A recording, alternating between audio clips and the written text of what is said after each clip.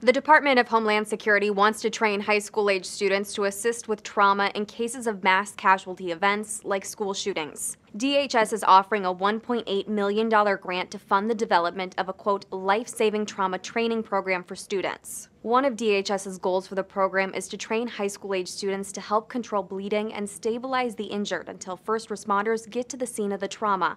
The department says uncontrolled bleeding is the number one cause of preventable death from trauma. Organizations that apply for the grant would have to submit a proposal for the program. They have until August 27th to apply.